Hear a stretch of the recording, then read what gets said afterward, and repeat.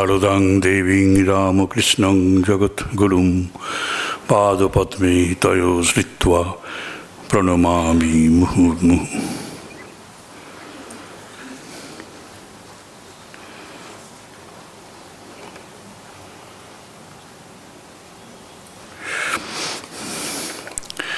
শ্রীমতী মায়া চৌধুরী স্মারক বক্তৃতায় সমাগত সুধীবৃন্দ এবং তার পরিবারের সদস্যবৃন্দ, আমি সকলকে স্বাগত জানাই, শ্রদ্ধা, শুভেচ্ছা জানাই।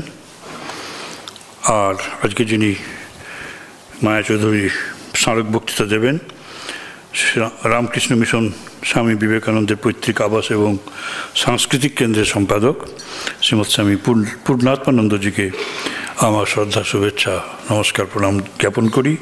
আজকে তার বিষয়, স্বামী বিবেকানন্দের বজ্র। ভগিনী নিবেদিতা। আমাদের প্রথা অনুসারে মায়া চৌধুরীর জীবনী একটু পড়ে শোনাচ্ছি।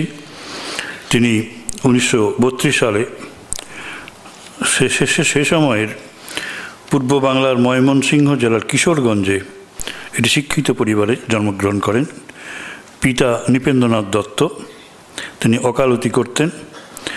মাতা নিহারিকা দত্ত তিনি ছিলেন অসম্ভব স্মৃতিধর। তার চলার পাথে হয়েছিল পরবর্তী জীবনে এই মাতা পিতার জীবনকে অবলম্বন করে। পনেরো বছর বয়সে দেশ বিভাগের পর পরিবার থেকে বিচ্ছিন্ন হয়ে একলা চলে এসেছিলেন কলকাতায়। বড় হবার এক রাস আশা বুকে নিয়ে। ভর্তি হয়েছিলেন বেলতলা গার্লস স্কুলে অষ্টম শ্রেণীতে। কিন্তু তৎকালীন সমাজের পরিহাসে বিয়ে হয়ে গেল মাত্র ষোলো বছর বয়সে। স্বামী শ্রী সুশান্ত কুমার চৌধুরী মহাশয় এবং শ্বশুর স্বর্গীয় প্রমোদচন্দ্র চৌধুরী। তিনি ছিলেন স্বামী বিরজানন্দজির কৃপাপ্রাপ্ত।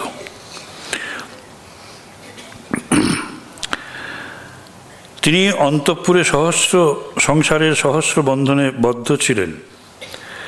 বিশ্ববিদ্যালয়ের বা উচ্চশিক্ষার সুযোগ লাভ হয়নি। তবুও তিনি ছিলেন এক বিষয় নারী প্রতিভার বিকাশের পক্ষে প্রতিকূল সমাজে নিরুচ্চারে তিনি রচনা করেছিলেন অজস্র কবিতা। কবিতার গ্রন্থটির নাম ভাবধারা। ভাবধারা।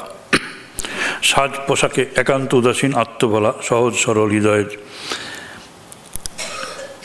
তার মন ছিল উদার, প্রগতিশীল। সংসারে থেকেও সাত্ত্বিক মাতাজি ছিলেন। সংসার জীবনের প্রতি অনেকটাই নিরাসক্ত নিষ্পৃহ পরম পূজ্যপাত শ্রীমৎ স্বামী বীরেশ্বরানন্দজি মহারাজের মন্ত্রশিষ্যা। তিনি গভীরভাবে আকৃষ্ট হয়েছিলেন। গুরুদেবের ভাব সে সময়ে অত্যন্ত প্রবল ছিল। সামাজিক সেবা ধর্মে পরবর্তীকালে রামকৃষ্ণ মঠ এবং মিশনের বেশ কয়েকজন সর্বজন শ্রদ্ধেয় সন্ন্যাসী বৃন্দের সান্নিধ্য এবং আশীর্বাদ তিনি লাভ করেন। পূজ্যপাত স্বামী অভয়ানন্দজি, নির্বাণানন্দজি, লোকেশ্বরানন্দজি, এদের বিশেষ কৃপাধন্য ছিলেন। এছাড়া আনন্দময়ী মা স্বামী দিব্যানন্দ পুরী প্রমুখ কয়েকজন আধ্যাত্মিক ব্যক্তিত্বের সংস্পর্শে তিনি এসেছিলেন। দু সালে চব্বিশে জানুয়ারি গভীর রাত। তখন তিনি আলোর পথে রামকৃষ্ণলোকে যাত্রা করেন। পুত্র শ্রী সুমন্ত চৌধুরী মাতৃস্মরণের আয়োজন করেছেন।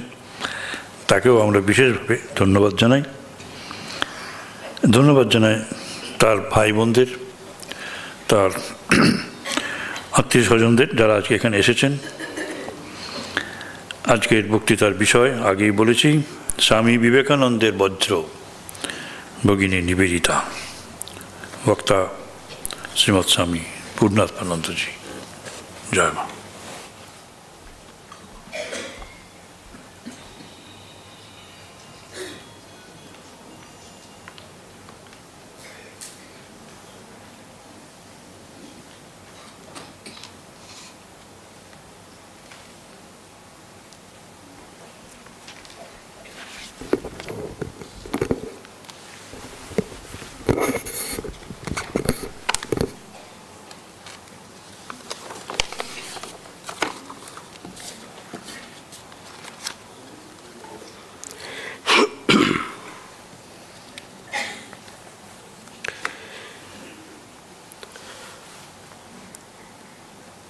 শ্রদ্ধেয় এবং প্রিয় স্বামী সুপর্ণানন্দজি মহারাজ, এখানে উপস্থিত মায়া চৌধুরীর পরিবারের সদস্য সদস্যবৃন্দ, বন্ধু শুভানুদ্দায়ী বৃন্দ এবং সমবেত ভক্ত একটু আগেই আপনারা শুনেছেন, আজকে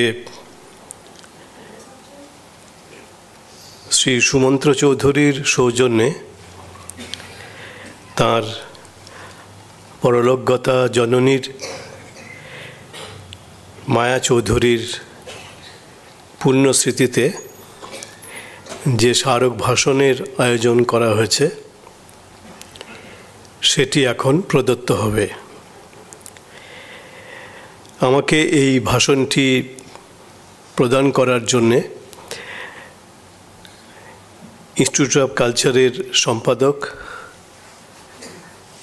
আমার অত্যন্ত কাছের মানুষ, শ্রদ্ধেয় এবং প্রিয় স্বামী সুপর্ণানন্দজি আমাকে আমন্ত্রণ জানিয়েছেন এবং এই আমন্ত্রণের পিছনে শ্রী সুমন্ত্র চৌধুরী, মায়া চৌধুরীর জ্যেষ্ঠ পুত্র তার আগ্রহ, তাদের পরিবারের সকলের আগ্রহ। তার জন্যে আমার এখানে আজকের এই স্মারক ভাষণটি দেওয়ার সম্ভব হচ্ছে। এজন্যে স্বামী সুপর্ণানন্দজিকে আমার অন্তরের ধন্যবাদ এবং কৃতজ্ঞতা এবং শ্রদ্ধা এবং সুমন্ত্র চৌধুরী এবং তাদের পরিবারের সবাইকে আমার আন্তরিক ধন্যবাদ এবং অভিনন্দন।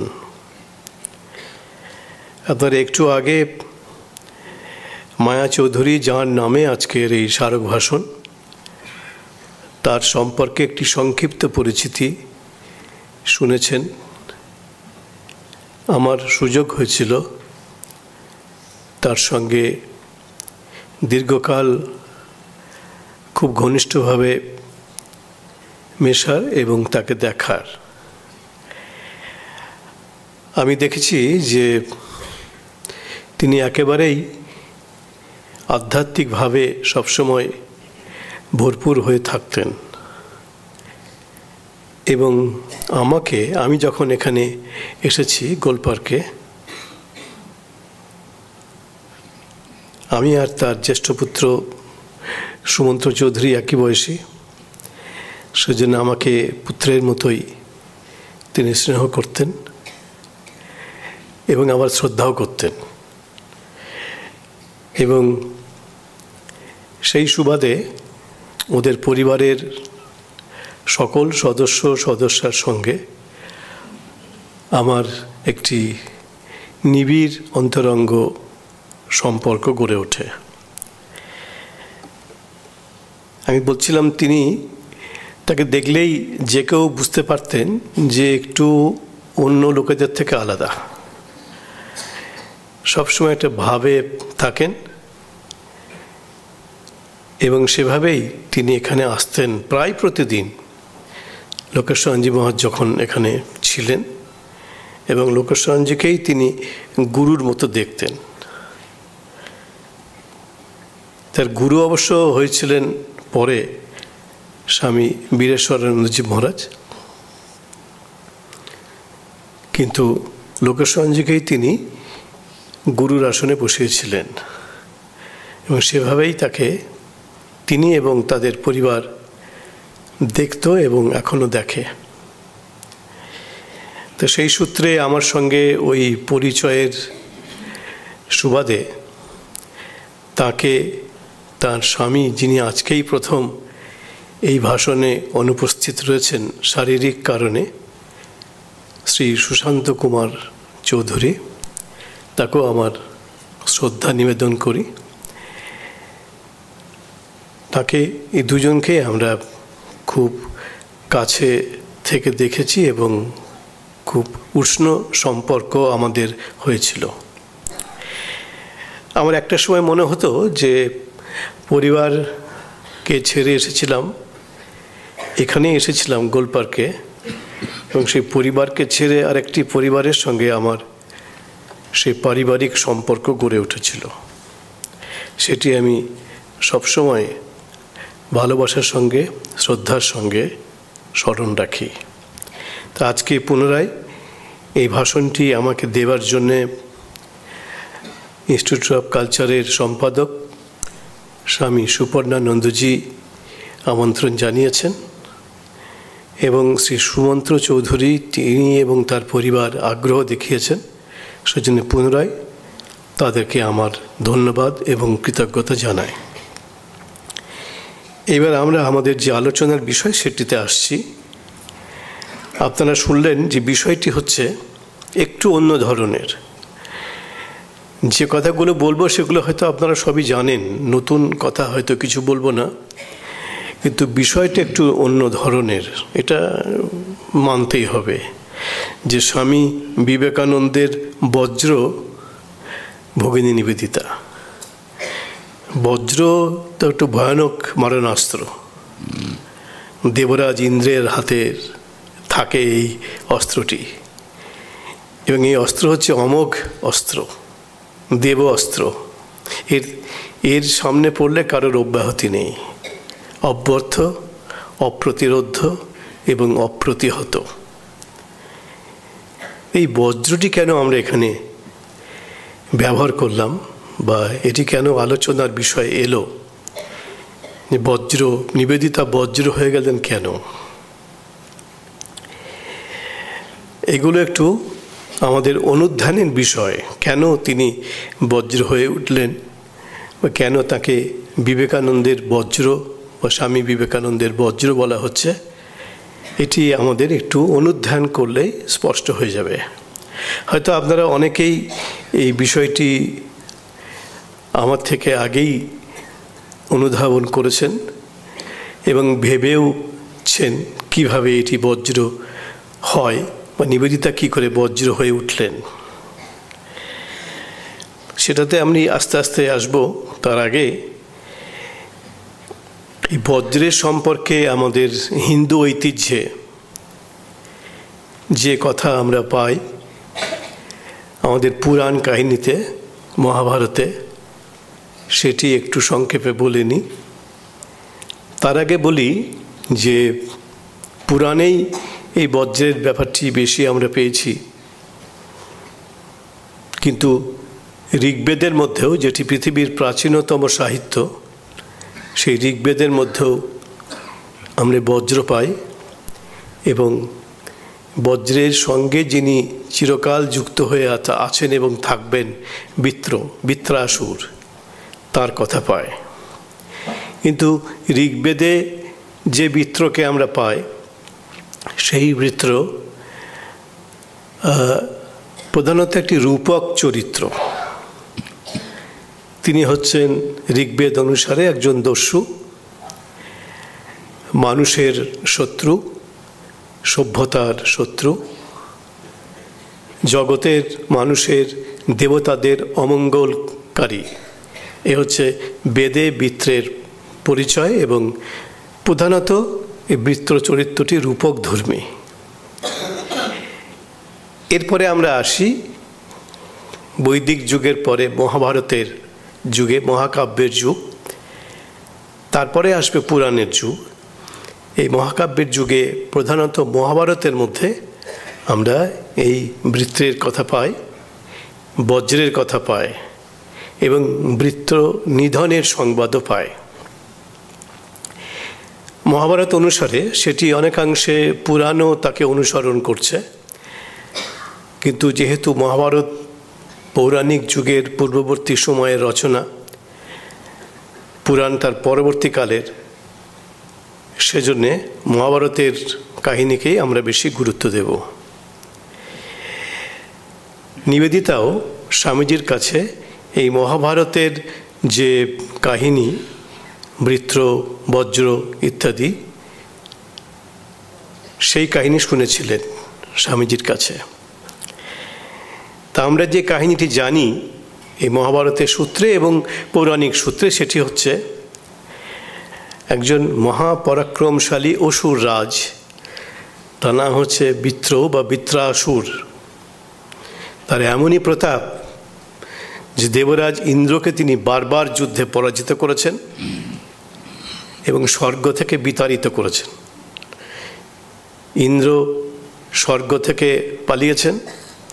এবং ইন্দ্র পালানো মানে সব দেবতারাও পালিয়েছেন স্বর্গ থেকে। অর্থাৎ বিত্রের অত্যাচারে, বিত্রের পরাক্রমে দেবরাজ ইন্দ্র এবং সমস্ত দেবকুল স্বর্গচ্যুত হয়েছেন। স্বর্গচ্যুত হয়ে অনেক দিন থাকার পরে ইন্দ্র চেষ্টা করছেন আবার কি করে স্বর্গের অধিকার ফিরে পাওয়া যায়, কিন্তু কোনোবারই বিত্রের সঙ্গে যুদ্ধে এঁটে উঠতে পারছেন না। তখন ইন্দ্র গেলেন প্রথমে শিবের কাছে। ও তো সকলের মুশকিল আসান। যখন যার প্রয়োজন সবাই শিবের কাছে গিয়ে উপস্থিত হয়। আর শিব সকলের মুশকিল আসান করে দেন। ওখানে একটা মুশকিল হয়ে গেছে যে প্রথমে যে এলো তা বলে, তোমারও যা চাও তাই দিয়ে দেবো। এবং পরে যে এলো, ওর শত্রু, বলে, তোমাকেও তাই দিয়ে দেবো। এখন মুশকিল বুঝে এখন সকলেরই মুশকিল আসান করে দেন শিব। এরকম দেবতার কোনো তুলনা হয় না। এই তো কদিন আগে শিবরাত্রি গেল। তো যাই হোক, তো প্রথমে শিবের কাছে গেলেন। শিব বললেন যে, এক কাজ করো। ইন্দ্রকে বললেন, ব্রহ্মা এবং বিষ্ণুকেও ব্যাপারটা জানাও। এবং ব্রহ্মা এবং বিষ্ণুকে মহাদেবের পরামর্শে দেবরাজ ইন্দ্র জানালেন। তখন আর দেবরাজ নন, তিনি তো স্বর্গচ্যুত, সব অধিকার তার চলে গেছে। যাই হোক, তিনি জানালেন। তখন তাকে পরামর্শ দেয়া হলো।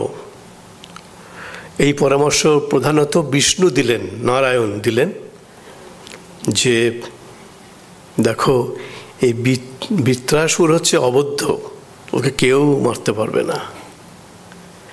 কিন্তু এমন একটি অস্ত্র চায় যে অস্ত্রটি একদম অমোঘ অস্ত্র, যে অস্ত্রের কাছ থেকে কারও পরিত্রাণ নেই। তো সেই অস্ত্রটি বানাতে হবে। তৈরি করতে হবে। তো এই অস্ত্রটি তৈরি করে দেবেন বিশ্বকর্মা। তিনি দেবতাদের শিল্পী, স্বর্গের শিল্পী তিনি বিশ্বকর্মা। তিনিও একজন দেবতা। তিনি এটি তৈরি করে দেবেন। কিন্তু এটা এই সাধারণ অস্ত্র তৈরির যে উপাদান থাকে, সেরকম ইস্পাত বা লোহা ওইসব দিয়ে এই অস্ত্রটি তৈরি হবে না। এটি হবে একটি জলজান্ত মানুষের অস্থি থেকে। তাহলে একটা মানুষকে মেরে তার হাড়গুলো নিয়ে এলেই তো হয়, তা হবে না। এমন একজন মানুষের অস্থি থেকে এই অস্ত্রটি নির্মাণ করা হবে, বিশ্বকর্মা করবেন। যিনি স্বেচ্ছায় জেনে শুনে কেন তার এই অস্থিগুলি দরকার জেনে তিনি নিজেই তার দেহটি দান করবেন। এ কোথাও তো পাবেন না। আমি জেনে শুনে আমার শরীর দিয়ে দেবো, দেহটি দিয়ে দেবো যে মরে দেবো আমি, কেউ দিতে চাইবেন না। কিন্তু এরকম লোক থাকে যে পরার্থে অপরের কল্যাণের জন্যে নিজের কথা একটুও না ভেবে মানুষ নিজের জীবনকে অবলীলায় দান করতে পারে। এই যে আত্মোৎসর্গ, আত্মনিবেদন, আত্মদান এইটি ওরা বললেন, একজন ঋষি আছেন, অত্যন্ত উচ্চ শ্রেণির ঋষি, তার নাম দধিচি। সেই ঋষি দধিচির কাছে গিয়ে প্রার্থনা করতে হবে যে আপনার শরীরটা আপনি দান করুন। দেবতাদের কল্যাণের জন্যে, দেবতাদের স্বর্গলাভের জন্যে আপনাকে আপনার দেহটি স্বেচ্ছায় দান করতে হবে। গেলেন তারা দধিচির কাছে। দধিচি একজন উচ্চ, অত্যন্ত উচ্চ শ্রেণির ঋষি, উপলব্ধিবান ঋষি। তিনি তখন ধ্যানমগ্ন ছিলেন। তার কাছে তারা যেতেই দেবতারা, ব্রহ্মা, বিষ্ণু, মহেশ্বর, ইন্দ্র সবাই চলে গেছেন। আরও সব যত দেবতা ছিলেন সবাই তো জানে আমাদের দেহ স্বর্গরাজ্যে ফিরে যেতে হবে। সকলেরই তখন প্রাণ ব্যগ্র ব্যাকুল হয়ে আছে, স্বর্গে ফেরা অনেক দিন বাইরে আছে। সুখ টুক কিছুই পাচ্ছেন না। তো গিয়ে দাঁড়িয়েছেন, তখন তিনি ধ্যানমগ্ন। কিন্তু ধ্যানযোগেই তিনি জানতে পারলেন যে তার সাক্ষাৎ প্রার্থী হয়েছেন স্বয়ং দেবরাজ এবং অন্যান্য দেবতা, বৃন্দ। তো দধিচি ধ্যান থেকে উত্থিত হয়ে বললেন, উনি ইচ্ছা করলেই যোগ বলে জানতে পারতেন ধ্যান বলে কেন যে এসেছেন, কিন্তু তিনি শুধু জানলেন তারা এসেছেন। চোখ খুলে বললেন, কি চান? তারা বললেন, এটা দেখুন কীরকম মানে আমরা কি বলব এটাকে? দেবতাদের পক্ষে কি এটা খুব একটা শোভন কাজ হয়েছে? ঋষিকে গিয়ে বলছেন, আমাদের দরকার স্বর্গ থেকে বহুদিন আমরা বিতাড়িত হয়ে রয়েছি। এখানে সেখানে ঘুরে বেড়াচ্ছি, খাওয়া দাওয়া ভালো জুটছে না। তাই যদি আপনি মারা যান, স্বেচ্ছায়, এবং আপনি মারা যাওয়ার পরে আপনার অস্থিটা নিয়ে আমরা ব্যবহার করব ওই বৃত্রকে বধ করার জন্যে। দেবশিল্পী বিশ্বকর্মা এটা দিয়ে বজ্র নির্মাণ করে এই বজ্র এলো বজ্র নির্মাণ করে দেবেন। তো দধিচি অম্লান বদনে, এই যে পরার্থপর মানুষ, এরকম হয়। হয়তো এদের সংখ্যা খুব কম। হয়তো একশো জনের মধ্যে একজনকেও খুঁজে পাওয়া যাবে না। হয়তো লক্ষের মধ্যে, কোটির মধ্যে একজন, দুজন পাওয়া যায়। কিন্তু দধিচি তেলেন সেই রকম একটি ব্যতিক্রমী এক ব্যক্তি বা ব্যক্তিত্ব। দধিচি বললেন, ঠিক আছে, আমি দেব। বলে তিনি মুহূর্তেই যোগ বলেই তার শরীর ত্যাগ করলেন। তখন বিশ্বকর্মা ওই দধিচির অস্থি থেকে সেই ভয়ঙ্কর মারণাস্ত্র, বজ্র নির্মাণ করলেন এবং সেইটি নিক্ষেপ করলেন দেবরাজ বৃত্রাসুরের উদ্দেশ্যে এবং ওই যে অমোঘ অস্ত্র বৃত্রাসুর নিহত হলো। তাহলে এই বজ্র নিক্ষেপ করেই দেবরাজ ইন্দ্র বৃত্রাসুর মহাপরাক্রমশালী তাকে বধ করেছিলেন। তো আমাদের পুরাণ কাব্য লোককাহিনীতে ইন্দ্রকে বজ্রধারী এবং বৃত্র নিধনকারী বলে বলা হয়েছে। এই কাহিনী ভগ্নী নিবেদিতা তার গুরু স্বামী বিবেকানন্দর কাছে বারবার শুনেছেন। তার বিখ্যাত গ্রন্থ আছে। তার অনেকটা অংশ নিবেদিতা স্বামীজির মুখে শুনেছেন। কিছু স্বামী শারদানন্দজির কাছে শুনেছেন। কিছু যোগিন মার কাছে শুনেছেন। আরও অন্যদের কাছেও শুনে থাকতে পারেন, কিন্তু প্রধানত স্বামীজির কাছে শুনেছেন। বারবার স্বামীজির কাছে তিনি এই বিত্র নিধন, বজ্র ইত্যাদি এই কথাগুলি বা এই কাহিনী শুনেছেন। নিবেদিতা অনেক পড়াশুনো করতেন, যার ফলে তিনি গ্রিক পুরাণ, রোমান পুরাণ এগুলির সঙ্গেও পরিচিত ছিলেন। আমরাও যেমন ছোটোবেলায় এই গ্রিক দেবতাদের কথা পড়েছি, রোমান দেবতাদের কথা পড়েছি তো নিবেদিতাও ছোটোবেলায় এসব পড়েছিলেন। তা তিনি জেনেছিলেন যে গ্রিক দেবতা জিউস, তিনি গ্রিকদের প্রধান দেবতা। এবং রোমান প্রধান দেবতা জুপিটার, তারাও কিন্তু বজ্রধারী। এবং তাদের হাতের বজ্র একদম অমোঘ অস্ত্র, কেউ তার থেকে পরিত্রাণ পায় না। এখানে নিবেদিতা গ্রিক পুরাণ, রোমান পুরাণ এবং হিন্দু পুরাণ সব জায়গাতেই দেখছেন এই বজ্রধারী দেবতা। ওদের হচ্ছে জিউস এবং জুপিটার, আমাদের হচ্ছেন ইন্দ্র, এটা নিবেদিতা জেনেছিলেন। এখন, প্রশ্ন হচ্ছে যে যে মহাস্ত্রের দ্বারা এই বিত্রকে বধ করা সম্ভব হলো, সেটি একটি অত্যন্ত শক্তিশালী অস্ত্র, সে তো আমরা শুনছি বা আমরা জানি। কিন্তু এই বজ্রের কি বিশেষ চরিত্র আছে? বজ্রের কি কোনো বিশেষ বৈশিষ্ট্য বা বিশেষ কোনো চরিত্র আছে? আমরা শুনলাম যে বজ্র নির্মিত হয়েছিল ঋষি দধিচির আত্মদানের মাধ্যমে। তার মানে এই যে একজন মানুষের আত্মদান, স্বেচ্ছায় আত্মদান, কোনো কিছুর প্রত্যাশায় বা প্রতিদানে নয়, এবং আত্মবিলয়, এ দুটি খুব বড় ব্যাপার। আত্মদান, আত্মবিলয়, স্বেচ্ছায়, নিজেকে একদম মুছে দেওয়া এটি একটা বিরাট বড় শক্তি মানুষের। যেসব মানুষ এরকম আত্মবিলয়ী পরার্থে নিজেদের জীবনকে উৎসর্গ করতে উদ্বেগ, উদ্বিগ্ন বা ব্যগ্র ব্যাকুল, তারা পৃথিবীর মানুষদের থেকে আলাদা। সুতরাং বজ্রের মধ্যে সেই ব্যাপারটি ছিল, বজ্রের বজ্রের মধ্যে আছে বা ছিল যে আত্মবিলয়, আত্মদান এর হচ্ছে প্রধান শক্তি। এবং যারা এরকম আত্মবিলয়ী হন বা আত্মদান করার জন্য উন্মুখ থাকেন বা করেন, তারা সাধারণ মানুষ নন। তাদের মধ্যে ভয়ঙ্কর একটা তেজ থাকে, তেজস্বিতা থাকে, অপরিসীম মানসিক শক্তি থাকে। এই আত্মবিলয়ী, আত্মদান করার জন্য উন্মুখ ব্যক্তিদের। তাই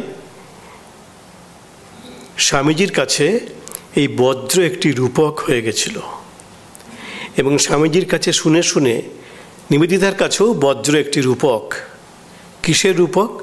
না আত্মদানের রূপক, আত্মত্যাগের রূপক, সেবার রূপক। আপনারা হয়তো সকলেই জানেন যে স্বামী বিবেকানন্দ একটি কথা বলতেন যে ভারতবর্ষের জাতীয় আদর্শ হচ্ছে দুটি। বলছেন ত্যাগ এবং সেবা। রিনান্সিয়েশন অ্যান্ড সার্ভিস স্বামীজি বলতেন। এই দুটি হচ্ছে ভারতবর্ষের যুগ্ম আদর্শ, ত্যাগ এবং সেবা। স্বামীজি নিবেদিতাকে এই ত্যাগ এবং আদর্শের প্রতিমূর্তি দধিচির কথা বলেছেন এবং ওই দধিচির অস্থি থেকে নির্মিত বজ্রের কথা বলেছেন। স্বামীজির কাছে শুনে নিবেদিতা এই বজ্র সম্পর্কে অত্যধিক আগ্রহী হয়ে ওঠেন এবং বজ্র সম্পর্কে তার অত্যন্ত দুর্বলতা দেখা যায়, খুব ভালোবাসতেন এই বজ্র প্রতীকটিকে বা এই রূপকটিকে। এবং স্বামীজি বলতেন, নিবেদিতা শুনেছেন, যে অবলীলায় নিজেকে দান করতে প্রস্তুত থাকে বা দান করতে পারে, সেই মানুষ হয়ে ওঠে স্বয়ং বজ্র। আর স্বামীজির একদম এক্স্যাক্টলি তার ভাষায় বজ্রের উপাদানে গড়া, স্বামীজির খুব প্রিয় কথা এটি।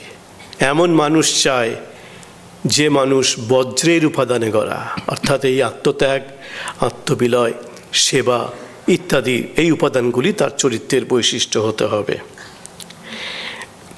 স্বামীজির কাছে শুনে শুনে নিবেদিতা এই বজ্রটিকে এমনই ভালোবেসে ফেললেন যে তিনি ভাবলেন এই বজ্রকে ভারতবর্ষের জাতীয় প্রতীক করে দিতে হবে। তিনি তো ভারতবর্ষের জন্য নিজের জীবনকে নিবেদন করেছিলেন। একদম স্বেচ্ছায় আত্মদান করেছেন, আত্মবিলয়ী হয়েছিলেন। তাই তিনি প্রথম থেকেই ভাবছেন, স্বামীজি যখন বেঁচে আছেন তখন থেকেই ভাবছেন, তারপরে আস্তে আস্তে স্বামীজির দেহান্তের পরে এই ভাবনাটা আরও বেশি তার মনের মধ্যে দৃঢ়মূল হয়েছে যে ভারতবর্ষের জাতীয় পতাকা একটি চায়। তখন পর্যন্ত ভারতবর্ষের জাতীয় পতাকা যে একটি চায়, এ কথাটা কোনো ভারতীয় ভাবেননি।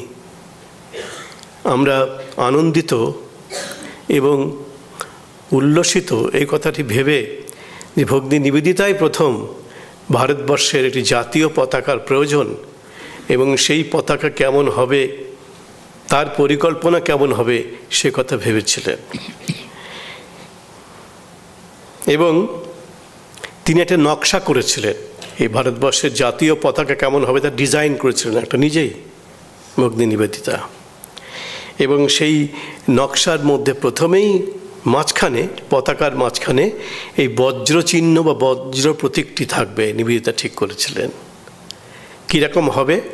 উনিশশো ছয় সালের কলকাতায় যখন কংগ্রেস অধিবেশন হলো, তখন নিবেদিতা সে অধিবেশনে এই তাঁর জাতীয় পতাকার এই পরিকল্পনা বা নকশাটি এটি প্রদর্শন করিয়ে, করিয়েছিলেন এবং তার স্কুলের ছাত্রীদের দিয়ে তিনি এই নকশাটি করিয়েছিলেন।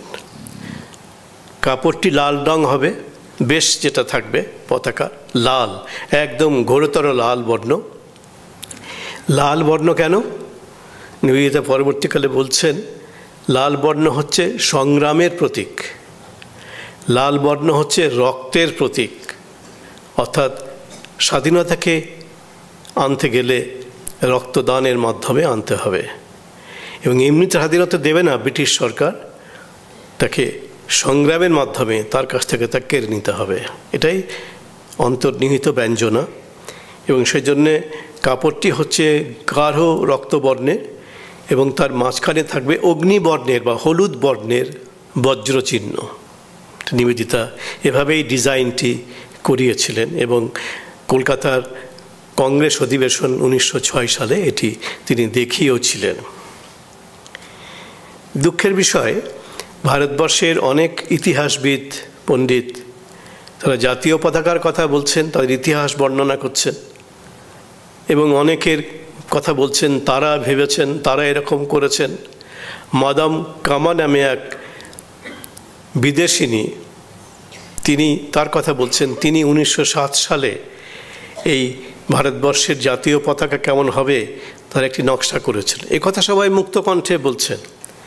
তার আগে যে উনিশশো ছয় সালে মাদাম কামার এক বছর আগে অন্ততপক্ষে ভগ্নি নিবেদিতা ভারতবর্ষের জাতীয় পতাকার কথা ভেবেছেন, তার নকশা করেছেন এবং সেটা কংগ্রেস অধিবেশনে কলকাতায় সকলের সামনে তুলে ধরেছেন সেই কথা কেউ বলছেন না। এটা খুব দুঃখের বিষয়। দুঃখের বিষয় এই কারণে ইতিহাসকে কিন্তু বস্তুনিষ্ঠ হতে হয়।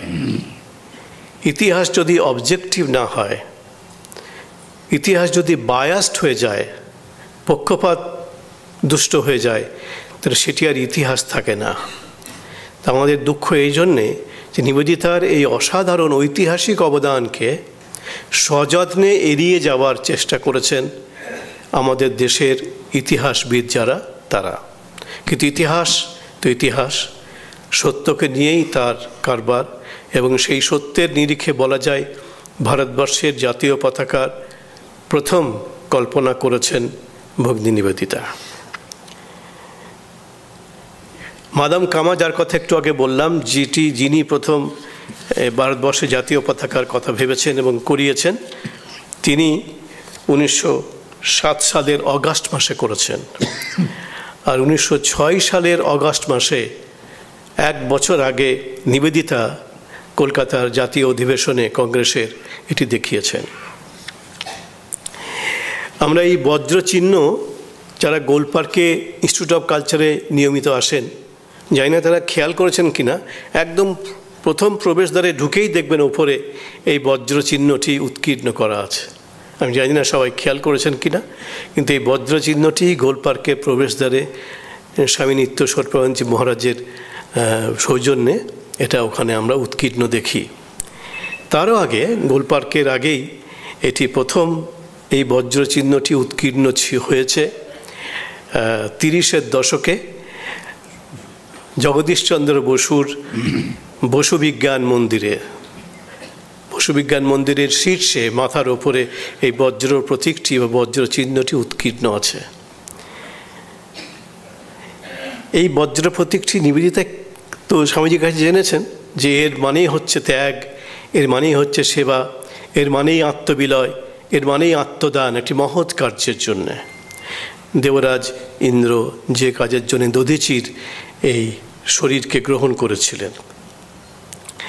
তখন এই বসুবিজ্ঞান মন্দিরের নির্মাতা জগদীশচন্দ্র বসু কেন এই বজ্রটিকে উৎকীর্ণ করলেন? তিনি জানলেনই বা কী করে এই বজ্রের সম্পর্কে। কিন্তু বিজ্ঞানের লোক। এই পুরাণ কাহিনী তাদের কাছে কোনো আকর্ষণ করে না। বা তাদের আকর্ষণ তাদের কাছে থাকে না।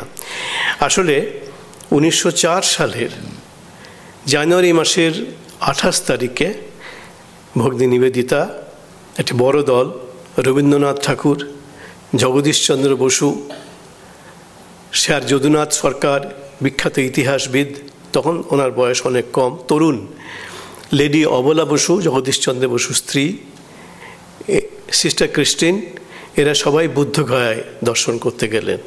তিন দিন ছিলেন বুদ্ধগয়ায়। সেখানে একটি কারণে নিবেদিতা গেছিলেন, রবীন্দ্রনাথ গেছিলেন। সেটি অন্য একটা কারণ, সেটা আমি উল্লেখ করছি না। কিন্তু এরা, নিবেদিতারা ওই বুদ্ধগয়ায় তিন দিন গেছেন, বুদ্ধগয়া দর্শন করেছেন। নিবেদিতার চোখে হঠাৎ পড়ে গেল, নিবেদিতা সুযোগ পেলে কি করতেন? ওই যে বোধিবৃক্ষের নিচে বুদ্ধদেব ধ্যান করেছিলেন, তার বোধিলাভ হয়েছিল সেখানে সুযোগ পেলেই তিনি ধ্যানে বসতেন। খুব ধ্যান করতে ভালোবাসতেন নিবেদিতা। স্বামীজির হাতে গড়া, স্বামীজির নির্মাণ, এই নিবেদিতা তো প্রায় ধ্যান করতেন ওখানে ধ্যানে ডুবে যেতেন। একদিন ওখানে ঘুরতে ঘুরতে সবাই আছেন, রবীন্দ্রনাথ, জগদীশচন্দ্র বসু, যদুনাথ সরকার সবাই আছেন। হঠাৎ নিবেদিতার চোখে পড়ল একটা গোল পাথর। সেই গোল পাথরটা যে বোধেবৃক্ষ যেখানে বুদ্ধদেব সমাধি লাভ করেছিলেন বা নির্বাণ লাভ করেছিলেন, তারই কাছাকাছি। দেখছেন, লতায় পাতায় ঘাসে ঢাকা একটা গোল পাথর নিবেদিতা গিয়ে সেটাকে আবিষ্কার করলেন। হয়তো এককালে তো আড়াই হাজার বছর পার হয়ে গেছে। হয়তো ওইটি ওই বোধিবৃক্ষের তলেই হয়তো এই পাথরটি বসানো ছিল। হয়তো কেউ সরিয়েছে বা কোনো কারণে ওখান থেকে সরে গেছে। এবং নিবেদিতা দেখলেন, ওই পাথরটির ওপরে একটি বজ্রচিহ্ন উৎকীর্ণ করা আছে, খোদাই করা আছে। একদম আনন্দে আত্মহারা হয়ে গেলেন যে পেয়েছি বজ্রচিহ্ন। এর আগে কখনো বজ্রচিহ্ন কেমন দেখতে এটা তো কারও ধারণা ছিল না। এই বুদ্ধের আসনে, যেটাকে আমরা বজ্রাসনও বলে থাকি, নিশ্চয়ই আপনারা শুনেছেন যে বুদ্ধের আসনকে বজ্রাসনও বলা হয়। হয়তো এই বজ্র উৎকীর্ণ বা বজ্র লাঞ্ছিত এই আসনের জন্যেই হয়তো বুদ্ধের আসনটিকে বজ্রাসন বলা হয়। তো সেটা দেখে তিনি খুব আনন্দ পেলেন এবং তিনি প্রথমেই আনন্দে আত্মহার হয়ে বলে উঠলেন, এই তো পেয়েছি বজ্রচিহ্ন, স্বামীজির এত প্রিয়। এবং এটাকেই ভারতবর্ষের জাতীয় প্রতীক হিসাবে ব্যবহার করা উচিত। জাতীয় পতাকায় এর স্থান হওয়া উচিত। নিবেদিতা বললেন। এই প্রতীকের অর্থ কি? এরা জিজ্ঞেস করলেন, যারা ওর সঙ্গে ছিলেন, সঙ্গী ছিলেন? নিবেদিতা বললেন আমি নিবেদিতার কথাটিকে উদ্ধৃতি দিচ্ছি। এর অর্থ এই যে যখন কেউ সমগ্র মানব জাতির কল্যাণের জন্য যথাসর্বস্ব ত্যাগ করেন, তখন তিনি বজ্রের মতো শক্তিশালী হয়ে দেবতা নির্দিষ্ট কাজ করেন। নিবেদিতা তখন নিশ্চয়ই স্বামীজির কাছে শোনা দধিচির আত্মদানের কথা মনে পড়ছিল। এবং নিবেদিতা বললেন ভারতবর্ষের মূল আদর্শ হচ্ছে ত্যাগ এবং সেবা। তাই বজ্র ভারতের জাতীয় প্রতীক হওয়া উচিত কোর্ট শেষ হলো। নিবেদিতা বললেন, কেন এই, এটিকে জাতীয় প্রতীক হিসেবে গ্রহণ করা উচিত? নিবেদিতার বক্তব্য সবাইকে তিনি শুনিয়ে দিলেন। যখন এই, আমরা বলতে পারি, এই বজ্র চিহ্নটিকে নিবেদিতায় আবিষ্কার করেছিলেন, তো ওখানে বুদ্ধগয়াতে। এবং সেই সময় তো জগদীশচন্দ্র বসু সেখানে উপস্থিত। এবং বারবার জগদীশচন্দ্র বসুকেও শুনতে হয়েছে নিবেদিতার মুখে নানা সময়ে এই বজ্রের কথা, দদিচির কথা শুনিয়েছেন তিনি। এবং এই অসাধারণ জ্ঞান তাপস বিজ্ঞানে ভারতবর্ষের যিনি জগৎসভায় মুখোজ্জ্বল করেছিলেন, যেখানে স্বয়ং স্বামীজিও উপস্থিত ছিলেন। এবং কী খুশি হয়েছিলেন স্বামীজি জগদীশচন্দ্রের সেই উজ্জ্বল আবির্ভাবে প্যারিস কংগ্রেসে। তো জগদীশচন্দ্র জানতেন নিবেদিতার এই দুর্বলতা এবং কেন এই বজ্রকে নিয়ে তিনি এত ভাবেন, কেন তাকে জাতীয় প্রতীক করার চেষ্টা করেন। সেজন্য বসু বিজ্ঞান মন্দিরের শীর্ষে তিনি এই বজ্র প্রতীককে স্থাপন করলেন। কেন করলেন বসুবিজ্ঞান মন্দিরের শীর্ষে নিবেদিতার এই প্রিয় প্রতীকটিকে?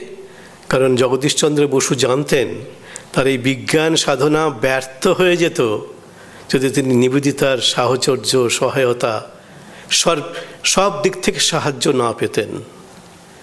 মানে কি যে সাধনা করেছেন নিবেদিতা, এই বিজ্ঞান সাধনায় জগদীশচন্দ্রকে সাহায্য করতে গিয়ে সব ভুলে গেছেন, যেতেন তিনি, শুধু তাকে সাহায্য করছেন। কেন? কারণ তিনি জানতেন, স্বামীজি খুশি হবেন। তখন তো স্বামীজি পৃথিবীতে নেই। নিবেদিতার যে কোনো স্বপ্ন যে কোনো কর্ম যে কোনো সাধনা যে কোনো উদ্যোগের পেছনে স্বামীজির প্রভাব সবসময় বাংময় হয়ে থাকত। সবসময় স্বামীজির প্রভাব। এবং সেজন্যেই তিনি ভাবতেন যে স্বামীজি তার প্রিয় গুরুদেব খুশি হবেন। যদি এই বিজ্ঞান সাধনায় জগদীশচন্দ্র বসুকে তিনি সাহায্য করেন, আপ্রাণ সাহায্য করেছেন। এবং তাঁরই কৃতজ্ঞতার স্বীকৃতিস্বরূপ যা পেয়েছেন নিবেদিতার কাছে, এটাও আর জানতেন, নিবেদিতা কখনো চাইবেন না তার নাম প্রকাশ্যে ঘোষণা করা হোক। তার কাছে কৃতজ্ঞতা স্বীকার প্রকাশ্যে করা হোক, নিবেদিতা চাইবেন না। ভয়ঙ্কর ব্যক্তিত্বময়ী, একমাত্র বিবেকানন্দ ছাড়া তাকে আর কেউ সামাল দিতে পারতেন না। যেমন তিনি, তেমনি তিনি। তো নিবেদিতা সেজন্যে এই যে তার যে অসাধারণ অবদান ভারতের বিজ্ঞান সাধনায় তথা বিজ্ঞানাচার্য জগদীশচন্দ্র বসুর বিজ্ঞান সাধনায় সেটিকে তিনি চিরকালীন স্বীকৃতি কৃতজ্ঞতার স্বাক্ষর রূপে নিবেদিতার প্রিয় বজ্র প্রতীকটিকে বসু বিজ্ঞান মন্দিরের শীর্ষে স্থাপন করে গেলেন। আর একটি কাজও করলেন। যদি আপনারা যান বসু বিজ্ঞান মন্দিরে আমরা অনেকবার গেছি, একদম ঢুকেই বাঁ দিকেই দেখবেন একটি মূর্তি আছে, একটি রিলিফ মূর্তি দেয়ালের সঙ্গে লাগানো। দ্বীপ হাতে এক মহিলা। মহিলাকে দেখলেই বোঝা যাচ্ছে এটা ভারতীয় মহিলা নন। চেহারা দেখলেই তো বোঝা যায়, আমাদের ভারতের কেমন চেহারা আর ওদেশের মেয়েদের কেমন চেহারা। তো এই দ্বীপ হাতে যে মহিলার চেহারা একদম প্রবেশ পথেই বাঁ দিকে উৎকীর্ণ করা আছে, এক নারী মূর্তি। রিলিফ মূর্তি এটি নিবেদিতার। কোথাও নাম লেখা নেই। কিন্তু জগদীশচন্দ্র বসু নিবেদিতার প্রতি তার যে ভালোবাসা, তার যে শ্রদ্ধা, তার যে কৃতজ্ঞতা, তার স্বাক্ষর রূপে তিনি এই দ্বীপ হাতে, দ্বীপধারিণী মহিলা তার রিলিফ মূর্তি উৎকীর্ণ করেছেন। এবং আরেকজন বিজ্ঞান সাধক, নিবেদিতার অত্যন্ত স্নেহধন্য জগদীশচন্দ্র বসুর কাছেও তিনি কাজ করেছেন ডক্টর বশিশ্বর সেন, মায়ের খুব ভক্ত, স্বামীজির ভক্ত, স্বামীজির শিষ্য, স্বামী সদানন্দের কুকুর বলতেন নিজেকে আমি স্বামী সদানন্দের কুকুর। তো সেই বশিশ্বর সেনের স্মৃতি থেকে জানা যাচ্ছে, তিনি নিজে লিখেছেন যে জগদীশচন্দ্র বসু আমাকে বলেছিলেন, নিবেদিতার যে অস্থি আছে, সে অস্থির অবশেষ এই মূর্তির নিচে প্রথিত করতে হবে।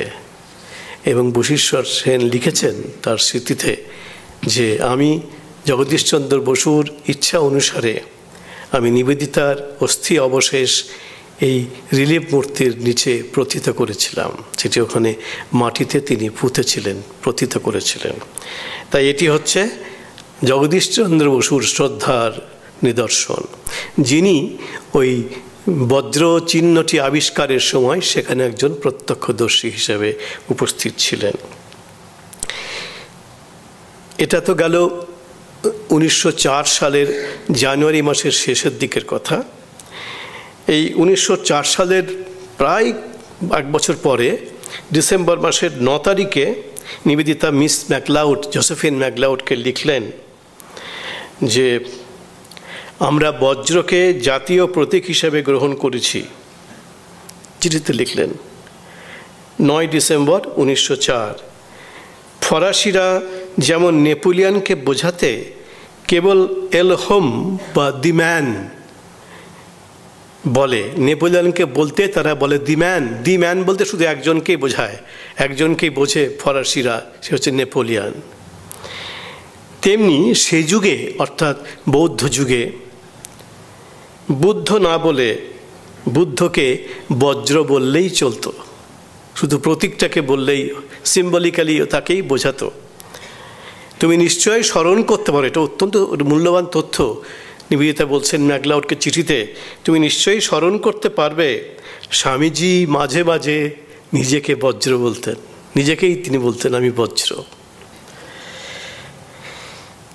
তারপরে আবার আরেকটি চিঠিতে বলছেন, এটা উনিশশো ছয় সালের পঁচিশে জুলাই। আমি বজ্রকে ভারতের প্রতীক করতে চাই, তা তুমি জানো? ওটি বুদ্ধের চিহ্ন। ওটি শিবের ত্রিশূলের সঙ্গে ঘনিষ্ঠভাবে যুক্ত। কারণ শিবের ত্রিশূলও বজ্রের মতোই একটি অমোক দেব অস্ত্র স্বামীজি নিজেকে বজ্র বলতেন, আবার লিখছেন চিঠিতে। তার উপরে ওটি কিন্তু প্রতিমা নয়, কোনো মূর্তির আকার নয়, প্রতীকের আকার। ওটি প্রতিমা নয়, সুতরাং মুসলমানদের পক্ষে একে প্রত্যাখ্যান করা উচিত হবে না। তদুপরি দুর্গা বজ্রকে তার এক হস্তে ধারণ করেন। আমরা জানি মহিষাসুর বধের আগে শিব দুর্গার হাতে তার ত্রিশূলটি দিয়েছিলেন। শিব দিলেন ত্রিশূল, সেই মহালয়ার দিনে আমরা আকাশবাণীতে শুনি এখনও শুনি। শিব দিলেন তার ত্রিশূল, বিষ্ণু দিলেন তার চক্র, ব্রহ্মা দিলেন তার অক্ষমালা, আর ইন্দ্র দিলেন, দেবরাজ দিলেন, তার বজ্র, এ তো আমরা শুনি। তাই এখানে এই কথাগুলি নিবেদিতা বলছেন। একটা জিনিস লক্ষ্য করে দেখুন, নিবেদিত খ্রিস্টান মহিলা ছিলেন জন্মসূত্রে। পরে তিনি নিজেকে হিন্দু, স্বামীজি তাকে হিন্দু করেননি। তিনি ভাবতেন আমি হিন্দু। ধর্মান্তরিত হননি তিনি। তো তিনি ভাবতেন আমি জন্মেছি খ্রিস্টান হিসাবে, কিন্তু আসলে আমি হিন্দু।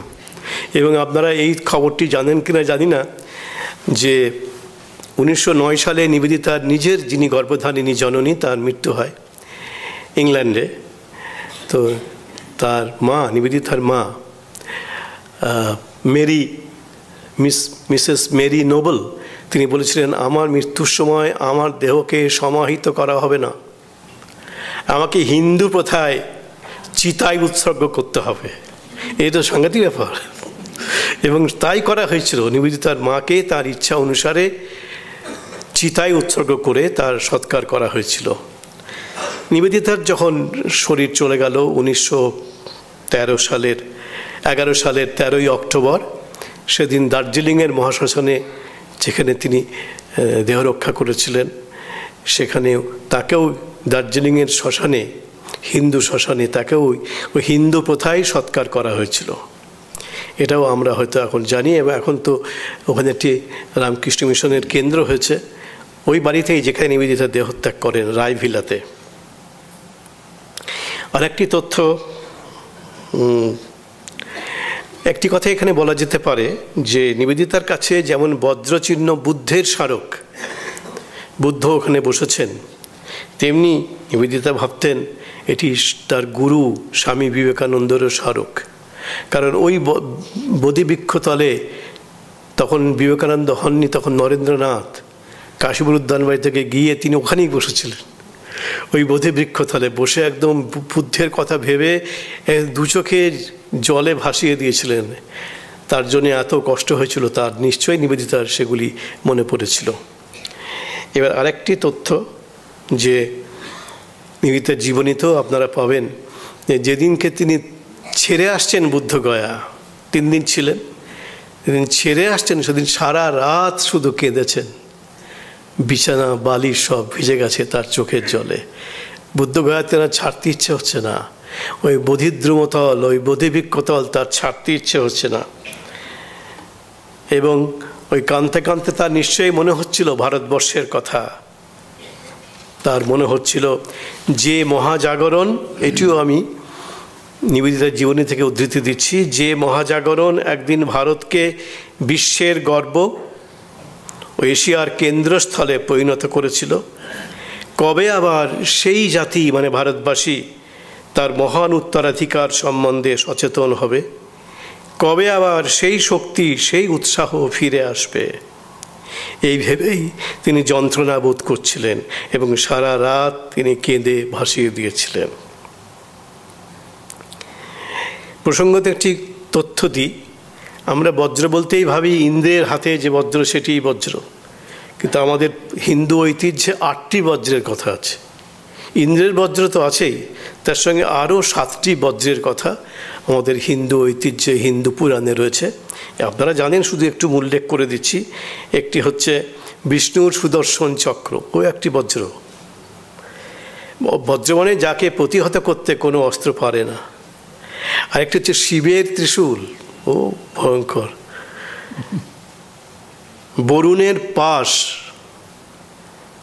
ব্রহ্মার অক্ষমালা, যেটি দিয়েছিলেন ব্রহ্মা দুর্গাকে, মহিষাসুর মর্দিনীকে, যমের কালদণ্ড, ইন্দ্রের বজ্র, কার্তিকের শক্তি, যে শক্তিতে তিনি তারকাসুরকে বধ করেছিলেন, এবং দুর্গা অথবা কালীর হাতের খর্গ এই আটটি হচ্ছে আটটি বজ্র। ইন্দ্রের বজ্রের সঙ্গে আরও সাতটি বজ্র। আমরা বলেছি আগে যে নিবেদিতার সমগ্র চিন্তা, ভাবনা, পরিকল্পনা, কর্ম এবং স্বপ্নের ক্ষেত্রে সব সময় ছিলেন স্বামীজি এবং স্বামীজি। নিবেদিতার দেহা, স্বামীজির দেহান্তের পরে তিনি যে দেশাত্মবোধক কাজের সঙ্গে নিজেকে সর্বান্তকরণে সর্বতভাবে যুক্ত করেছিলেন, স্বামীজির বজ্র হয়ে উঠেছিলেন তিনি, তার মূল প্রেরণা ছিল স্বামীজির ভাব ও চিন্তাকে বাস্তবে রূপায়ণের, রূপায়ণ করতে হবে, তার জন্য আকুল প্রয়াস, আকুল আকাঙ্ক্ষা। স্বামীজির ভাবনায় এই প্রয়াস ছিল এটি আংশিক প্রয়াস নয় এটি ছিল ভারতবর্ষ জাগরণের ক্ষেত্রে একটি সর্বাত্মক জাগরণের প্রয়াস, সর্বক্ষেত্রে জাগরণ। শুধু যে এক দিকে এক পেশে জাগরণ তা নয়, সব দিকে শিক্ষার ক্ষেত্রে, শিল্পের ক্ষেত্রে, ধর্মের ক্ষেত্রে, সাহিত্যের ক্ষেত্রে, বিজ্ঞানের ক্ষেত্রে, ইতিহাস চর্চার ক্ষেত্রে, দেশাত্মবোধ বা জাতীয়তা জাগরণের ক্ষেত্রে সর্বক্ষেত্রে তা বিস্তৃত হবে। এটা ছিল নিবেদিতার ধারণা এবং তার চিন্তা।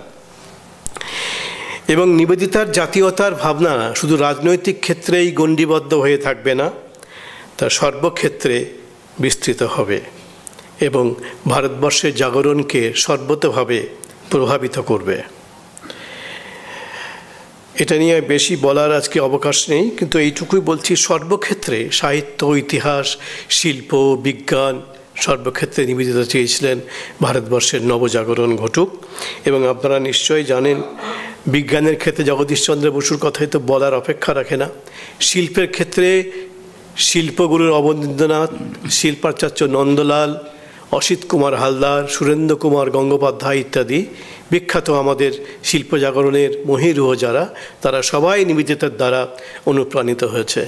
এবং নিবেদিতাই এই শিল্প জাগরণের ক্ষেত্রে এক বিরাট প্রেরণা স্বরূপিনী হয়ে উঠেছিলেন। এবং জাতীয় জাগরণের ক্ষেত্রে তিলকের সঙ্গে নিবেদিতার সম্পর্কের কথা আমরা সেভাবে উদ্ধার করতে পারিনি। শঙ্করী প্রসাদ বসুও পারেননি। কিন্তু অন্যান্য যেসব বিখ্যাত আমাদের রাজনীতি ক্ষেত্রের নক্ষত্র, যেমন সুরেন্দ্রনাথ বন্দ্যোপাধ্যায়, বিপিলচন্দ্র পাল, গোপালকৃষ্ণ গোখলে লালা লাজপত রায়, অরবিন্দ প্রমুখ যেসব বিখ্যাত নক্ষত্র আমাদের রাজনীতির ক্ষেত্রে, সেকালের সবাইকে ভগ্নি নিবেদিতা প্রেরণা জুগিয়েছেন তাদের সকলের ওপরে তার প্রভাব অসাধারণ ছিল। এবং এই যে বজ্রের কথা বলছি, বজ্র অনেক সাহস চায়। সেই বজ্র হতে পারবে। স্বামীজির কাছে যেখানে সাহস যেখানে বীর্য, যেখানে সৌর্য, যেখানে শক্তি, তার কাছেই তিনি নতি স্বীকার করতে প্রস্তুত ছিলেন। এবং নিবেদিতা জান, স্বামীজি জানতেন যে এই যে এক অসাধারণ তার শিষ্যা হয়েছেন, এই মার্গারেট এলিজাবেথ নোবেল, যাকে তিনি নিবেদিতা নামকরণ করেছেন, দীক্ষাদান করে, ব্রহ্মচর্য দীক্ষাদান করে, তিনি জানতেন যে নিবেদিতা একটা ছোট বালিকা বিদ্যালয়ের জন্যেই আসেননি। তার মধ্যে আছে, স্বামীজি বলেছেন, তাকে লিখেছিলেন, তোমার মধ্যে আছে একটা জগৎ আলোড়নকারী শক্তি নিবেদিতার মধ্যে।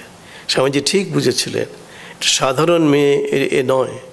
জগৎ আলোড়নকারী শক্তি, এবং স্বামীজি জানতেন, নিবেদিতার একটি বৃহত্তর এবং মহত্তর কর্মক্ষেত্র আছে, এবং সেভাবেই তাকে তার গুরু স্বামী বিবেকানন্দ তিল তিল করে নির্মাণ করেছিলেন মহান বিশ্বকর্মার মতো। এবং তাকে তার এই কাজের জন্যে পূর্ণ স্বাধীনতা দিয়ে গেছিলেন। স্বামীজির দেহান্তের পরে স্বামীজি বলেছিলেন, তুমি পূর্ণভাবে স্বাধীন। তুমি যেমন তুমি ভালোবাসবে, ভালো বুঝবে তেমনিভাবে তুমি কাজ করবে। নিবেদিতা সেটা জানতেন যে গুরু তাকে এই স্বাধীনতা দিয়েছেন এবং গুরু তার কাছে এই প্রত্যাশা করেছেন, ভারতবর্ষের জাগরণে তাকে যন্ত্র হতে হবে এবং সারা জীবন ধরে তিনি ওই বজ্র হয়ে উঠে ভারতবর্ষের জাগরণের জন্যে নিজের জীবনকে তিল তিল করে দান করেছিলেন। এবং গুরুর অভিপ্রায়কে চরিতার্থ করাই ছিল তার একমাত্র সাধনা এবং আকাঙ্ক্ষা। এবং তিনি জানতেন, গুরু বিবেকানন্দের একটিমাত্র অংশের প্রচার নয়। তার জীবন সাধনার সামগ্রিক প্রচারই তার জীবন সাধনা, নিবেদিতা মনে করতেন। নিবেদিতার একটি গ্রন্থ, অসাধারণ গ্রন্থ the web of Indian life এটি নিবেদিতার যেটি জাতীয়তা ভাবনা, দেশাত্মবোধের প্রেরণা, সেটি সম্পর্কে তার কথা এখানে ধরা আছে, লেখা আছে। এবং নিবেদিতা মনে করতেন, এই যে কেন তিনি বজ্র হয়ে উঠছেন স্বামীজির, নিবেদিতা মনে করতেন এই বইটি তিনি লিখছেন বটে, তিনি লিখেছেন বটে উনিশশো ছয় সালে বইটি প্রকাশিত হলো। বলছে, একটি শব্দ তার লেখা নয় নিবেদিতা বলছেন। প্রতিটি শব্দ, গ্রন্থের প্রতিটি কথা তার নয়, তার গুরুর, অর্থাৎ স্বামী বিবেকানন্দের। নিবেদিতা নিজেই বলেছেন।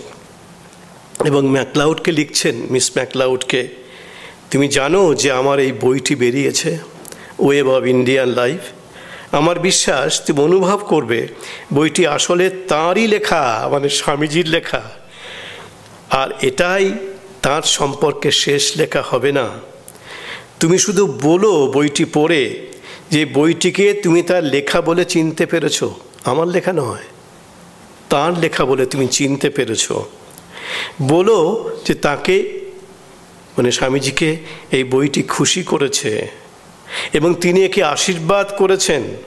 তার বেশি আমি আর কিচ্ছু চাই না, নিবেদিতা বলছেন। আবার আরেকটি চিঠিতে মিস ম্যাকলাউডকে বলছেন, যদি তুমি বইটির গভীরে ঢুকে স্বামীজিকে দর্শন করতে পারো, আমি খুব আনন্দ পাব। এই বইয়ের মধ্যে সব স্বামীজি, সবই স্বামীজি, শুধুই স্বামীজি, নিবেদিতা বলছেন। চিঠিতে লিখছেন তার বাইরে কিন্তু আমার আর কিচ্ছু নেই। এই বজ্র মানে হচ্ছে নিজেকে সম্পূর্ণরূপে মুছে দেওয়া। নিবেদিতা তাই মুছে দিয়েছেন এবং বলছে, আমার কিচ্ছু নেই। সব তিনি, শুধুই তিনি, সর্বস্ব তিনি। এবং বলছেন, তার বাইরে আমার আর কিছু নেই।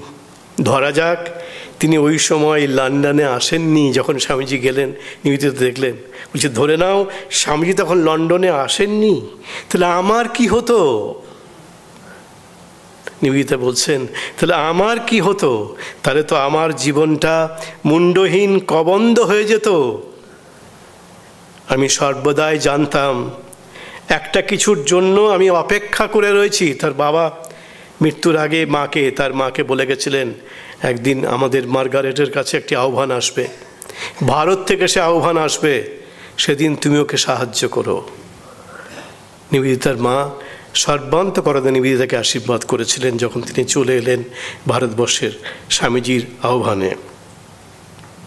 বলছেন, আমি সবসময় নিজেকে বলেছি, নিবেদিতা লিখছেন, আহ্বান আসবেই, আহ্বান এসেছিল। যদি তিনি হিমালয়ের শিখরে বসে ধ্যানে মগ্ন হয়ে যেতেন, নিবেদিতা বলছেন, তাহলে আমার কি হতো? আমি অন্তত কখনোই আসতাম না। মানে এই যে ভারতবর্ষে এসেছিলাম, শুধুই তার জন্যে তাকে ভালোবেসে, তার প্রতি আমার শ্রদ্ধায়, ভালোবাসায়, নিজেকে উজাড় করে দিয়ে আমি এসেছি, তিনি আমাকে আহ্বান করেছিলেন বলে এই প্রসঙ্গে আরেকটি কথা নিবেদিতার একটি উক্তি উল্লেখ করি। স্বার্থশূন্য মানুষই বজ্র। সেই নিঃস্বার্থতার সাধনা আমাদের করতে হবে। যাতে দেবহস্তের বজ্র হয়ে উঠতে পারি। কীভাবে সে প্রশ্ন আমাদের নয়, হিসাব নিকাশও আমাদের জন্য নয়। আমাদের জন্য শুধু রয়েছে বেদির মূলে নিজেকে দান, আত্মদান। যখন কেউ মানব জাতির কল্যাণে সম্পূর্ণ আত্মনিবেদন করে, তখন সে দেবতার হস্তধৃত বজ্রের মতো শক্তি সম্পন্ন হয়ে ওঠে। নিবেদিতা স্বয়ং তাই হয়েছিলেন। আমি আমার কথা এবার শেষ করি। নিবেদিতার মৃত্যুর আগে, নিবেদিতার কাগজপত্রের মধ্যে, পালিশের তলা থেকে, বিছানা থেকে কতগুলো লেখা পাওয়া গেছে। প্রধানত তিনটি লেখা। একটি হচ্ছে লীলা, একটি কবিতা, একটি হচ্ছে মৃত্যু, আর একটি হচ্ছে অসাধারণ একটি কবিতা। নিবেদিতা কী করে বজ্র হয়ে উঠলেন স্বামীজির? এই কবিতার ছত্রে ছত্রে তা আমরা দেখতে পাবো। সেই কবিতার নাম হচ্ছে দি বিলাভেড, প্রিয়তম। অসাধারণ কবিতা। শঙ্করী প্রসাদ বসু এটি অপূর্ব অনুবাদ করেছেন। সেই অনুবাদটি আপনাদের কাছে তুলে ধরে আমার কথা আমি শেষ করব। নিবেদিতা লিখছেন এই প্রিয়তম এই কবিতাটিতে, ঈশ্বর তৃষ্ণায় জীবনের সমগ্র অর্থ, এ কথা যেন চিরদিন স্মরণে থাকে। আমার প্রিয়তম প্রিয়তম ঈশ্বরই, তবে তিনি আমার বাতায়নে দৃষ্টি মেলেছেন। আমারই দ্বারে করাঘাত করেছেন। এই প্রিয় পরমের কোনো প্রয়োজন নেই। তবু তিনি মানবিক প্রয়োজনের আকার নিয়েছেন, যাতে আমি তার সেবা করতে পারি। তার ক্ষুধা নেই। তবু তিনি প্রার্থী, যাতে আমি তাকে দিতে পারি। তাকে দ্বার খুলে আশ্রয় দেব বলেই তো তিনি ডাক দিয়েছেন। তার বিশ্রাম শয্যা রচনা করে দেব বলেই তো তিনি দেহে ক্লান্তি নিয়েছেন। আমার দানে তার ভিক্ষাপাত্র ভরিয়ে দিতে ভিক্ষুকের সাজে তার আগমন। স্বামীজিতে সন্ন্যাসী, ভিক্ষুক। সেই সাজে তার আগমন। প্রিয়তম, ওগো প্রিয়তম আমার আমার সব তোমারই জন্যে। আর আমি আমি শুধু তোমারই শুধু তোমারই। আমাকে নিঃশেষ করে তার পরিবর্তে বিরাজ করো তুমি।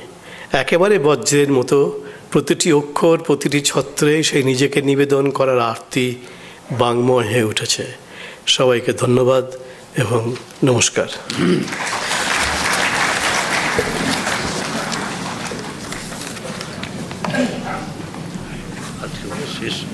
সবচেয়ে ভালো আমরা এরকম বক্তৃতা শুনিনি এর আগে। ইনি অনেক বক্তৃতা দিয়ে আমাদের মুগ্ধ করেছেন, কিন্তু আজকে নিবেদিতা স্বামীজির হাতে বজ্র হয়ে উঠেছিলেন কীভাবে? এবং নিবেদিতাকে স্বামীজি কীভাবে নিক্ষেপ করেছিলেন? সমস্ত দুর্গ, যেগুলো অসম্ভব দানবীয় শক্তিতে অশুভ, অমঙ্গল কাজে লিপ্ত ছিল। সেগুলোকে গুঁড়িয়ে দেয়া হয়েছে। সর্বক্ষেত্রে সর্বক্ষেত্রে স্বামীজি তাকে নিক্ষেপ নিক্ষেপ করেছিলেন। সেই ঘটনায় আমাদের শোনালেন, সে সর্বক্ষেত্রগুলো কি কি ছিল সে তো শুনলেন। ছিল শিক্ষার ক্ষেত্রে, শিল্পের ক্ষেত্রে জাতীয় বোধের বোধের ক্ষেত্রে, জাতীয়তা বোধের ক্ষেত্রে দেশাত্ম বোধের ক্ষেত্রে, শিক্ষার ক্ষেত্রে, সর্বত্র, ধর্মের ক্ষেত্রে। নিবেদিতা তার হাতের বজ্র, তিনি ছিলেন ঠাকুরের হাতের বজ্র।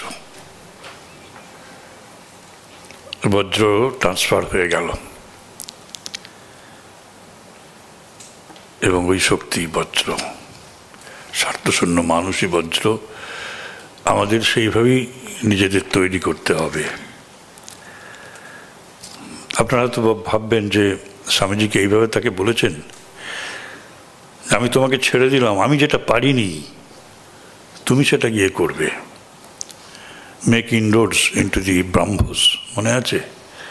যাও, ব্রাহ্মদের দুর্গ আক্রমণ করো। আমি পারিনি। ভাবতে পারেন? এবং নিবেদিতা সম্বন্ধে রবীন্দ্রনাথের ওই যে ছোট্ট একটি প্রবন্ধ, ওটা কিসের ইঙ্গিত দেয়? যে ব্রাহ্মদুর্গ তছনছ হয়ে গেছে। তিনি ব্রাহ্মদুর্গকে আক্রমণ করেছেন। যারা বিরোধী ছিল, তারা আপন হয়েছে। এটা স্বামীজির কাজ। স্বামীজি পারতেন না। এই বজ্রকে তিনি ছেড়ে দিয়েছেন, সর্বত্র চলেছেন সর্বত্র যেখানে যা কিছু অশুভ দেখেছেন, আঘাত করেছেন। সেই প্রতিবেদন আমরা অপূর্ব কণ্ঠে সুললিত ভাষায় কবিতার মতো পূর্ণাত্মানন্দজির শ্রীমুখ থেকে ঝরে পড়ল। আমাদের কানে সুধা বর্ষণ করল। শব্দগুলো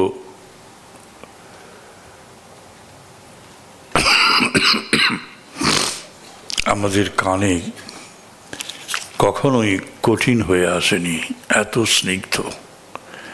আমি বলছিলাম এরকম তো শুনিনি। ওনার হাজার হাজার বক্তি ছয় শয়ে বক্তৃতা শুনেছেন, হাজার না হলেও এখানে যারা আছেন তারা মহারাজের যেখানে বক্তৃতা হয়, ছোটেন। ছুটতে হয়। না ছুটে পাওয়া যায় না।